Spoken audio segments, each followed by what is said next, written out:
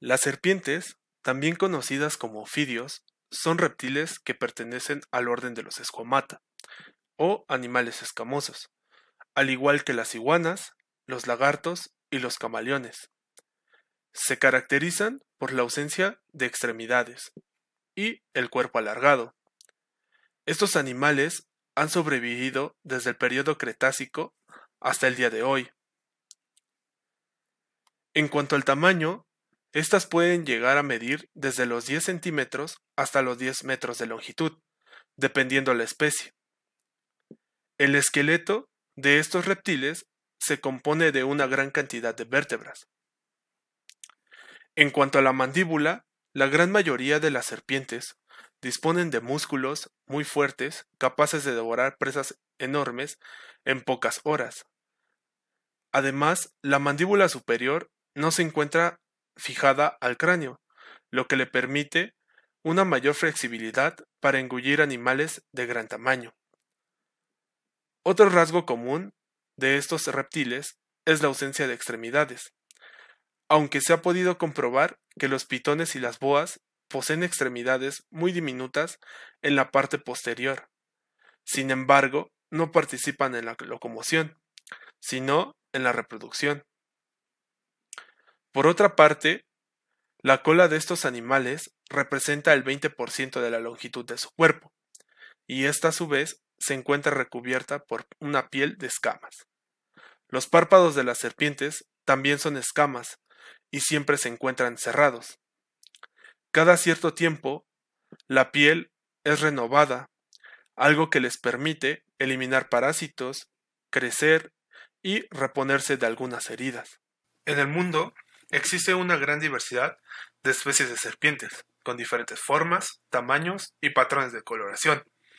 La principal diferencia entre ellas es claramente la capacidad que tienen ciertas especies de inocular veneno, que pueden causar la muerte de un ser humano.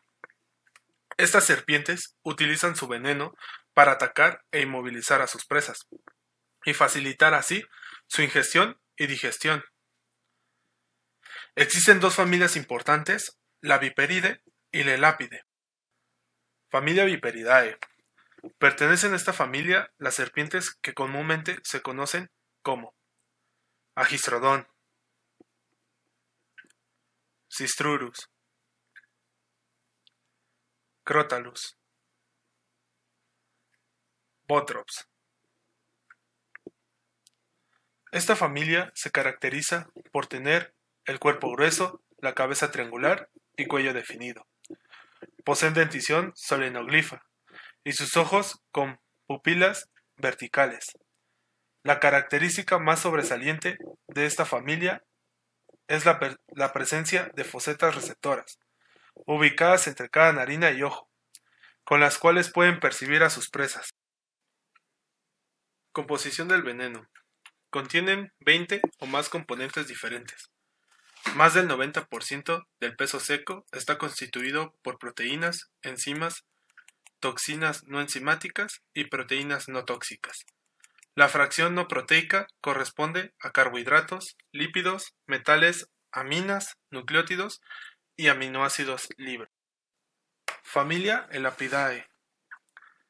Pertenecen a la familia las serpientes que se les conoce como serpiente de coral, taipán, Mamba negra. Cobra. Se diferencian de las viperide ya que los corales presentan grandes escamas en su cabeza. Dentición proterogrifa. Ojos pequeños. La pupila tiende a ser redonda y no posee fosas termorreceptoras. Algunas especies como la coral presentan anillos completos alrededor de todo el cuerpo, con diferentes patrones de coloración. Composición del veneno. Los principales componentes tóxicos son polipéptidos, básicos de bajo peso molecular, que bloquean los receptores de acetilcolina de la función neuromuscular. Familia Colubridae. A esta familia pertenecen las serpientes conocidas como serpiente hocico de cerdo, serpiente del maíz, serpiente rey, culebra lisa. En su mayoría no son venenosas o relativamente menos venenosas que las elápidos y vipéridos. Presentan dentición aglifa y matan a sus presas por constricción. Familia Boidae. A esta familia pertenecen las serpientes conocidas como anaconda, boa, pitón reticulada, pitón regius. Esta clase de serpientes se les denomina constrictoras no venenosas. Llegan a tener grandes tamaños, poseen una dentición aglifa y utilizan su fuerza para sofocar a sus presas. También presentan fosetas termorreceptoras. En cuanto a la clasificación, de acuerdo a la dentición, existen cuatro tipos. La dentición aglifa, que es la estructura dentaria en la cual no existe ningún diente modificado para la inoculación de veneno. La dentición opistoglifa, que consiste en dientes alargados acanalados en la zona posterior al final de la maxila superior.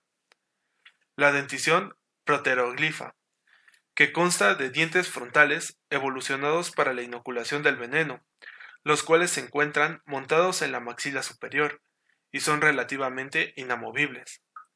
Y la dentición solenoglifa, que consta de colmillos relativamente largos evolucionados para la inoculación completa del veneno, se encuentran ubicados en la maxila superior y son de caracteres móviles.